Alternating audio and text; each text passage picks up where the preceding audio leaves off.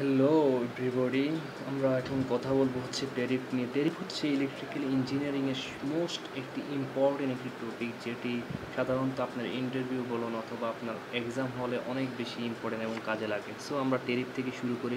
Firstly আমরা describe করব হচ্ছে ডেফিনেশন এবং অবজেক্টিভ অফ টেরিফ সো এখানে বলা আছে the rate at which electrical energy supplied to a consumer is known as tariff so Bangla যদি আমি বলি, সেটা হচ্ছে যে যে দামে ইলেকট্রিসিটি সাপ্লাই করা হয় কনজিউমারের নিকট, সেটাকে আমরা বলব টেরিফ খুব সহজ কথা হচ্ছে যে, আপনার ঘরে আপনি হচ্ছেন একজন কনজিউমার আপনাকে, আপনার ঘরে যে ইলেকট্রিসিটি সাপ্লাই দেয় সাপ্লায়ার বা বিভিন্ন কোম্পানি ডেস্কো টাইপের কোম্পানিগুলো সো তারা আপনার কাছে যে দামে ইলেকট্রিসিটি সাপ্লাই দেয়, সেটাকে আমরা বলব হচ্ছে টেরিফ সো টেরিফের কিছু অবজেক্টিভ আছে যেগুলোর উপর ভিত্তি করে টেরিফটা ঠিক করা হয় কত দাম আপনার ইলেকট্রিসিটির যে দামটা আসবে সেটা ঠিক করা হচ্ছে কয়েকটা অবজেক্টিভের উপর। ফার্স্টলি হচ্ছে যে আপনার ঘরে যে ইলেকট্রিসিটি পোতাচ্ছে পাওয়ার স্টেশন থেকে সো তারা আপনার ঘরে যে প্রডিউস করছে ইলেকট্রিসিটি সো এই প্রডিউসের একটা খরচ আছে। তারা আপনাকে এখান থেকে পাওয়ার স্টেশন থেকে আপনার ঘর পর্যন্ত ইলেকট্রিসিটি পৌঁছাতে তার একটা খরচ। সেটা আপনার থেকে দেবে recovery of cost of producing electrical energy at the power station আরেকটা হচ্ছে যে, আপনার ঘরে যে ট্রান্সমিশন এবং ডিস্ট্রিবিউশন সিস্টেমে যে লাইনটা নিয়ে গেছে, তারা আপনার বিদ্যুৎ পৌঁছানোর জন্য তা সেটার একটা ক্যাপিটাল একটা কস্ট আছে, সেটা আপনার কাছ থেকে ওরা নিবে। আরেকটা হচ্ছে অপারেশন অ্যান্ড মেনটেন্যান্স কস্ট এটা আপনারা বুঝতে পেরেছেন। অপারেশন অ্যান্ড মেনটেন্যান্স কাজে আপনার ঘরে যদি কোনো সমস্যা হয়, তারা এসে ঠিক করে দিয়ে যাবে। তাদের কিছু লোক ওইখানে ঠিক করা আছে, যারা আপনার এই মেনটেন্যান্স কাজগুলো করে থাকে অপারেশন এবং মেনটেন্যান্স কাজগুলো। সো ওটারও একটা কস্ট আপনার থেকে সাপ্লায়ার বা কোম্পানিগুলো নিবে। আরেকটা হচ্ছে যে, সব কস্ট হিসাব করার পর একটা হিসাব আসবে তাদের যে, আমার আমার আপনার উপর একটা কনজিউমারের উপর একটা কোম্পানির বিশ টাকা, তিরিশ টাকা বা একশো টাকা যাই হোক না কেন, একটা খরচ তাদের খরচ হয় বা ব্যয় হয়। দেন তারা দশ টাকা, পনেরো টাকা যাই ভরে তারা একটা প্রফিট করবে। সো এই প্রফিট এবং কস্ট যে খরচগুলো আপনার উপর করছে, সবগুলো মিলিয়ে যে ঘটনাটা ঘটে, সেটাই হচ্ছে মূলত টেরিফ এবং এটাই হচ্ছে টেরিফের অবজেক্টিভ সো টেরিফ সাধারণত ডিপেন্ড করে কি কয়েকটা লোডের উপর।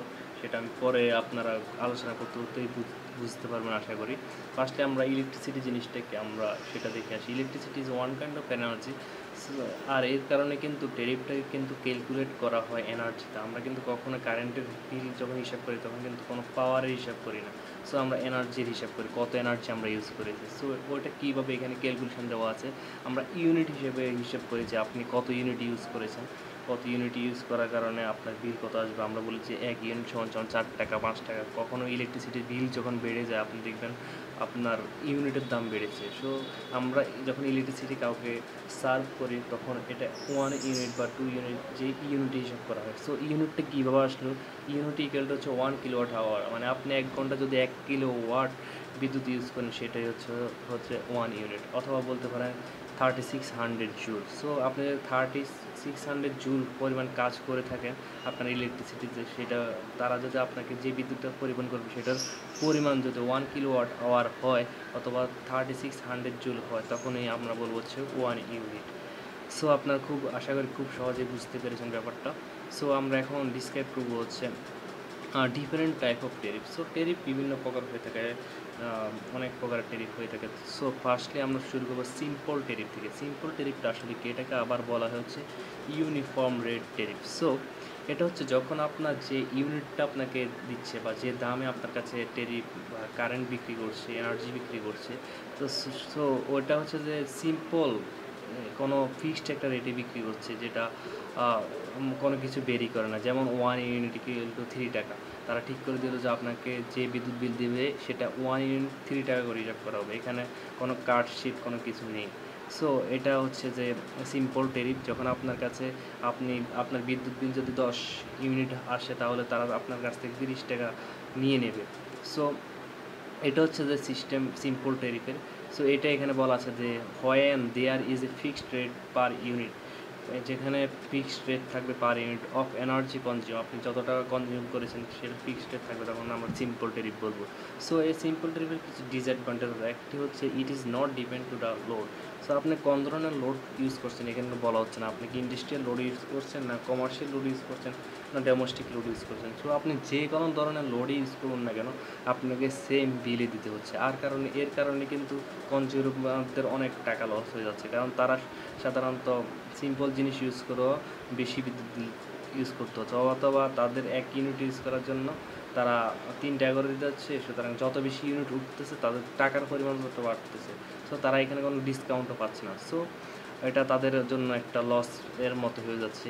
So current rate is high এখন যেটা বললাম, তাদের দিন যত বেশি ইউনিট ইউজ করবে, তাদের টাকার পরিমাণও তত বেশি বেড়ে যাবে। সো কারেন্ট রেটের দাম হাই এখানে বলা যায়।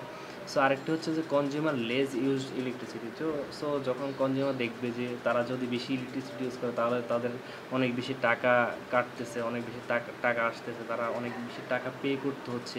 তখন তারা কি করবে? অনেক কম ইলেকট্রিসিটি ইউজ করবে। সো এখানে বলা আছে কম কনজিউমার লেস ইউজড ইলেকট্রিসিটি অনেক কম ইলেকট্রিসিটি ইউজ করবে, আর যার কারণে কোম্পানিরাও বেশি প্রফিট করতে পারবে না। যখন কনজিউমাররা একটা যে প্রোডাক্ট আপনি দেখেন কনজিউমাররা বেশি ইউজ করছে না, তখন কিন্তু ওই প্রোডাক্টটার উপর কিন্তু কোম্পানিগুলো বেশি বেনিফিট করতে পারে না। সো এটাও একটা ডিসঅ্যাডভান্টেজ কোম্পানিগুলোর জন্য। সো এই ডিসঅ্যাডভান্টেজগুলোর কারণে আমরা অন্য একটা টেরিপ নিয়ে এখানে আলোচনা করব, সেটা হচ্ছে ফ্ল্যাট রেট টেরিফ ওইখানে এই ডিসঅ্যাডভান্টেজগুলো আমরা রিমুভ করতে পারি কিনা দেখব। সো ফ্ল্যাট রেট টেরিফটা হচ্ছে হয় different type of consumer R charge at different uniform per unit so ওইখানে কী ছিল? ফিক্সড রেট ছিল টেরিফের এখানে টেরিফটাকে বিভিন্ন লোডের ক্ষেত্রে বিভিন্ন ভ্যালুতে ভাগ করে দেওয়া হয়েছে। যে এখানে হচ্ছে যে দুই ধরনের লোড বলা হচ্ছে। একটা হচ্ছে লাইটিং লোড আর একটা হচ্ছে পাওয়ার লোড লাইটিং লোড সাধারণত হচ্ছে ডেমোস্টিক লোডগুলো ডেমোস্টিক লোড কোনগুলো? লাইট বাল্ব ফ্যান যে ইউজগুলো আমাদের ঘর বাড়িতে যে জিনিসগুলো আমরা সাধারণত ইউজ করে থাকি, সেগুলোকে বলা হচ্ছে লাইটিং লোড আর একটা পাওয়ার লোড ইন্ডাস্ট্রি অথবা কমার্শিয়াল এরিয়াতে যে লোডগুলো সাধারণত ইউজ করে থাকে, সেগুলোকে বলা হচ্ছে পাওয়ার লোড সো দুই ধরনের লোডের জন্য এখানে কি করছে? দুই ধরনের চার্জ হিসাব করছে, টাকা হিসাব করছে। সো এটার ক্ষেত্রে ডিসঅ্যাডভান্টেজ হচ্ছে আপনাকে দুই ধরনের এনার্জি মিটার ইউজ করতে হবে, কারণ আপনার দুই ধরনের হিসেব করতে হচ্ছে যে এটার জন্য এত রেট ইউজ করবেন, এটার জন্য চার টাকা ইউজ করবেন লাইটিং লোডের জন্য চার টাকা ইউজ করবেন, আর পাওয়ার লোডের জন্য আপনি দিবেন হচ্ছে যে থ্রি পয়েন্ট ফাইভ টাকা পার ইউনিট সো আপনার দুইটার জন্য দুই ধরনের টাকা আসতেছে, দুই ধরনের ইউনিট আসতেছে সো আপনাকে দুই ধরনের এনার্জি মিটার ইউজ করতে হচ্ছে সো এটা একটা ডিসঅ্যাডভান্টেজ আপনার। আরেকটা হচ্ছে যে for lighting you have to pay more money so আপনাকে চার টাকা দিতে হচ্ছে হচ্ছে লাইটিং লোডের জন্য বাট পাওয়ার লোডের জন্য আপনাকে কম টাকা দিতে হচ্ছে সো এটাতে কনজিউমারদের লস হয়ে যাচ্ছে সো এটা একটা ডিসঅ্যাডভান্টেজ সো এই দুইটা ডিসঅ্যাডভান্টেজ উপর ভিত্তি করে যখন দেখল যে আপনার সিম্পল রেট টেরিফ এবং টেরিফের ডিসঅ্যাডভান্টেজ আছে, তখন অন্য একটা টেরিফ নিয়ে আমরা কথা বলব এখন, অন্য টেরিফে কী বলে দেখব ওইখানে কি আমাদের ডিসঅ্যাডভান্টেজ আছে কিনা সো ব্লক রেট টেরিফ এটা হচ্ছে মোস্ট ভ্যালুয়েবল মোস্ট অ্যাডভান্টেজফুল একটা টেরিফ আমাদের জন্য কনজিউমারদের জন্য। কেন? যখন আমরা ডেফিনেশনটা দেখব, তখন বুঝতে পারব এখানে কী করা হয়। এখানে টেরিফগুলোকে বিভিন্ন ব্লকে ডিভাইডেড করে দেওয়া হয়, ভাগ করে দেওয়া হয়। আপনি যখন প্রথম তিরিশ ইউনিট ইউজ করবেন, এর জন্য আপনাকে একরকম টাকা দিতে হবে। আপনি যখন এর পরের তিরিশ ইউনিট ইউজ করবেন, এটার জন্য আরও কম টাকা দিতে হবে। এবং আপনি যখন এর পরে তিরিশ ইউনিট ইউজ করবেন, এর পরের জন্য কম টাকা দিতে হবে। এখানে দেখেন, এখানে বিভিন্ন ব্লকে ভাগ করে দিয়েছি যে a equal to one to thirty unit এবং এর জন্য পার ইউনিট টাকা রেখেছে হচ্ছে তিন টাকা করে। যার কারণে আপনার আসতেছে হচ্ছে যে আপনি যদি প্রথম তিরিশ ইউনিট ইউজ করেন, তাহলে আপনার আসবে নব্বই টাকা। এরপর একত্রিশ ইউনিট থেকে আপনার শুরু সিক্সটি টাকা পর্যন্ত থার্টি ওয়ান থেকে সিক্সটি টাকা পর্যন্ত সিক্সটি ইউনিট পর্যন্ত যখন আপনি ইউজ করবেন, এর জন্য ইউনিটের দাম হচ্ছে টু পয়েন্ট ফাইভ টাকা করে। আপনার ইউনিটের দাম কিন্তু কমছে। সো আপনার টাকাও পরিমাণে কমবে সেভেন্টি ফাইভ টাকা। সো সি ইউনিটের জন্য আরও একটু কম সিক্সটি টাকা আসবে। সো এর কারণে আপনার অ্যাডভান্টেজ যেটা, সেটা হচ্ছে কনজিউমার বেশি ইলেকট্রিসিটি ইউজ করতে কমফোর্টেবল ফিল করে। আর যখন কনজিউমার বেশি ইলেকট্রিসিটি ইউজ করবে, তখন কিন্তু কোম্পানিগুলো মোর বেনিফিট পাবে। সো এটা একটা হচ্ছে most important advantage for block rate tariff so এরপর হচ্ছে টু পার্ট টেরিফ এটা সাধারণত বিগ কনজিউমার ক্ষেত্রে ইউজ করা হয়, যারা বড় ধরনের কনজিউমার ইন্ডাস্ট্রি বলেন কমার্শিয়াল এরিয়া বলেন, ওদের জন্য সাধারণত two part tariff maximum demand tariff যেগুলো যেগুলো বাকি যেগুলো আছে, সেগুলো সাধারণত ইউজ করা হয়। সো আমরা এখন দেখি হচ্ছে টু পার্ট টেরিপটা আসলে কী জিনিস। সো টু পার্ট টেরিপ যেটা, সেটা হচ্ছে যে when the rate of electrical energy is charged on the basis of maximum demand so যেখানে আপনাকে ম্যাক্সিমাম ডিমান্ড অনুযায়ী আপনার টেরিপগুলো বা চার্জ করা হবে, আপনার ইলেকট্রিসিটির চার্জ বা রেট রেটের যে দামটা এটা ম্যাক্সিমাম ডিমান্ড অনুযায়ী করা হয়, তখন সেটাকে আমরা বলব টু পার্ট টেরিপ সো এখানে দুটো জিনিস আপনাকে ডিপেন্ড করে টু পার্ট টেরিফটা একটা হচ্ছে যে ম্যাক্সিমাম ডিমান্ড একটা হচ্ছে রানিং চার্জ তো সাধারণত বড় কোম্পানিগুলো চায় যে আমাদের ইলেকট্রিসিটি আমরা ম্যাক্সিমাম ডিমান্ড নেব, যাতে আমার ইলেকট্রিসিটি কখনো আসা যাওয়া না করে। কারণ সাধারণত কমার্শিয়াল বা ইন্ডাস্ট্রিয়াল এলাকাগুলোতে যদি এক, কিছুক্ষণের জন্য কারেন্ট যায়, তাহলে তা তাদের কোটি কোটি টাকা ক্ষতি হয়ে যেতে পারে। সো এই জন্য তারা ম্যাক্সিমাম ডিমান্ড ইউজ করে যে আপনি আমাকে এত কিলো ওয়াট দিবেন। প্রত্যেক পার মান্থে এবং তারা সেটার জন্য একটা রানিং চার্জও নিয়ে থাকে। সেই রানিং চার্জটা হচ্ছে যে আপনি যত ইউনিট ইউজ করছেন, সেটারও একটা চার্জ আপনাকে দিতে হবে। সো ম্যাক্সিমাম ডিমান্ডের জন্য আপনাকে একটা টাকা দিতে হচ্ছে এখানে, এবং রানিং চার্জের জন্য টাকা দিতে হচ্ছে। দুই ধরনের টাকা কিন্তু আপনাকে পে করতে হচ্ছে টু পার্ট টেরিপে আর এর কারণে কিন্তু এটা, যারা ছোট কনজিউমার তারা এটা ইউজ করলে তাদের অনেক বেশি লস হয়ে যাবে। সো তাদের জন্য এটা ক্যাপেবল না। আর এটা হচ্ছে যে বিগ কনজিউমারের জন্য সো এটা একটা ডিসঅ্যাডভান্টেজ স্মল কনজিউমার যারা, তারা এটা ইউজ করতে পারে না। কারণ এখানে আপনাকে দুই ধরনের টাকা পে করতে হচ্ছে। একটা ম্যাক্সিমাম ডিমান্ড চার্জ আপনি যতটুকু বিদ্যুৎ ইউজ করেন পার মান্থে ওই বিদ্যুৎটা আপনাকে নিতে হচ্ছে। মানে ম্যাক্সিমাম ডিমান্ড আপনার সব সর্বোচ্চ ডিমান্ডের বিদ্যুৎ আপনাকে বা এনার্জি আপনাকে কিনতে হচ্ছে ওদের কাছ থেকে। আরেকটা হচ্ছে রানিং চার্জ আপনি যতটুকু বিদ্যুৎ মান্থলি ইউজ করছেন, এটা দিতে হচ্ছে। সো এই দুটার উপর পে করতে হচ্ছে।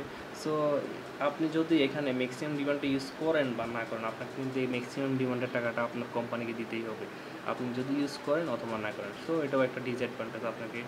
আপনার যদি আপনার ফ্যাক্টরি যদি বন্ধ থাকে, তাহলে আপনাকে ম্যাক্সিমাম ডিমান্ডের টাকাটা দিতে হবে। সো আরেকটা হচ্ছে ম্যাক্সিমাম ডিমান্ড টেরিফ সো এটা হচ্ছে another part of two part tariff so two part টেরিফে কী হয়? Maximum demand running charge so এখানে ওইখানে ওইটাই ম্যাক্সিমাম ডিমান্ড ওইটাই।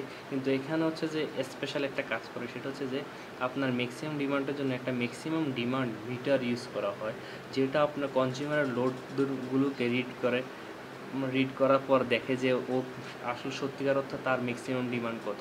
যার কারণে যখন আপনার বিগ কনজিউমারগুলো লোড যদি টেন কিলো ওয়াট হয়, তখন তাই। ওই মিটারটা বলে দেয় হচ্ছে তার সে, তার ম্যাক্সিমাম ডিমান্ড হচ্ছে টেন কিলো ওয়াট তখন ওই সাপ্লায়ার যারা বা যারা ইলেকট্রিসিটি কোম্পানি যারা ইলেকট্রিসিটি প্রডিউস করে, তারা আপনাকে টেন কিলো ওয়াটে দিচ্ছে। আর আপনিও টেন কিলো ওয়াটে পাচ্ছেন। যার কারণে যারা দিচ্ছে তারাও সুবিধা পাচ্ছে, যারা নিচ্ছে তারাও সুবিধা পাচ্ছে। এই জন্য সাধারণত টু পার্ট টেরিফ থেকে ম্যাক্সিমাম ডিমান্ড টেরিফটা সবচেয়ে বেশি ইউজ করা হয়। কারণ এখানে আলাদা একটা মিটার ইউজ করা হয়। এবং এটাই হচ্ছে আসলে মূল কথা এখানে। অন্য কিছু না, আপনি ডেফিনেশন পড়লে বুঝতে পারবেন। আমি তবু একটু বলে দিই it is also part of two part tariff but here use a maximum demand meter which read the consumer loads and tells what is the maximum demand. That's why any kind of loss both side not come. So, কোনো সাইডে কোনো রকম কোম্পানিগুলোরও কোনো loss হয় না এবং যারা electricity use করছে বিগ কনজিউমার তাদের কোনো লস হচ্ছে না। Another one is power power factor tariff so এটা অনেক ইম্পর্টেন্ট এটা আমরা, আপনারা যদি পাওয়ার ফ্যাক্টর ভালোভাবে বুঝে থাকেন, তাহলে আশা করি বুঝবেন। পাওয়ার ফ্যাক্টর যত বেশি হয়, তত ভালো। ইউনিটি পাওয়ার ফ্যাক্টরের কাছে যত বেশি থাকবে, তত ভালো। সেটার উপরে টেরিফ ডিপেন্ড করে। সো আপনার যদি পাওয়ার ফ্যাক্টর মান কমে যায়, তাহলে আপনার ইলেকট্রিসিটি বিল বেশি আসবে। যদি পাওয়ার ফ্যাক্টর কম, ভালো থাকে seven point seven point eight point nine এরকম থাকলে আপনার ভালো হবে। আপনার পাওয়ার ফ্যাক্টরের কারণে আপনার টেরিফের বিদ্যুৎ বিল কম আসবে। সো ওইটা হচ্ছে পাওয়ার ফ্যাক্টর তবুও পাওয়ার ফ্যাক্টর নিয়ে যদি আর বেশি কিছু জানার থাকে, তাহলে আমার পাওয়ার ফ্যাক্টর নিয়ে একটা টিউটোরিয়াল আমি তৈরি করব বা করছি। সেটা আপনারা দেখে নিতে পারেন। সেখানে আমি খুব সহজে সেটা তুলে ধরবো। আপনারা ভালোভাবে আশা করি পাবেন ওইটা। So three part tariff so three part টেরিপটা হচ্ছে যে আরেকটি ইম্পর্টেন্ট একটা টেরিফ সেখানে হচ্ছে যে আপনি পার টেরিফে দেখেছেন আমরা দুটো জিনিস ইউজ করি, একটা হচ্ছে ম্যাক্সিমাম ডিমান্ড আর একটা হচ্ছে রানিং চার্জ সো এটা ছাড়াও থ্রি পার টেরিফ আর একটা জিনিস কোম্পানিগুলো অ্যাড করে দেয়, সেটা হচ্ছে লেবার এবং মেনটেন্যান্স চার্জ আপনার যে ইলেকট্রিসিটি তারা প্রডিউস করছে, সেখানে আপনার যদি কোনো প্রবলেম হয় বা কোনো সমস্যা, আপনার ইলেকট্রিসিটির কোনো ক্ষতি হচ্ছে বা লস হচ্ছে সো তারা সেইগুলো দেখে লেবার এবং মেনটেন্যান্স যারা করে, তারা এগুলো দেখে। সো কোম্পানিগুলো কী করে আপনার থেকে আরেকটা চার্জ নিয়ে নেয়? লেবর এবং মেনটেন্যান্স চার্জ সো এখানে তিনটা জিনিসের উপর অ্যাড করে আপনার উপর টেরিফ ঠিক করা হয় বা বিদ্যুতের বিল বা আপনাকে কত রেটে সাপ্লাই করবে বিদ্যুৎ সেটা ঠিক করে দেওয়া হয়। সো এটা হচ্ছে থ্রি পার্ট টেরিফ এই হচ্ছে মূলত থ্রি টেরিফের আলোচনা। এখানে আমরা আলোচনা করে হচ্ছে হচ্ছে টেরিফ নিয়ে অবজেক্টিভ ও টেরিফ নিয়ে এবং আপনার এনার্জি আসলে electricity is one kind of energy এবং ডিফারেন্ট টাইপ অফ টেরিফ নিয়ে simple tariff flat rate tariff block rate tariff and two part tariff maximum demand tariff and three part tariff নিয়ে। আশা করি আপনারা খুব ভালো কিছুই পেয়েছেন। আর যদি ভালো আরও কিছু পেতে চান, তাহলে অবশ্যই আমার ভিডিও লাইক কমেন্ট এবং শেয়ার করবেন। আশা করি আপনিও উপকার পাবেন এবং অন্যরাও উপকার পাবেন ধন্যবাদ সবাইকে।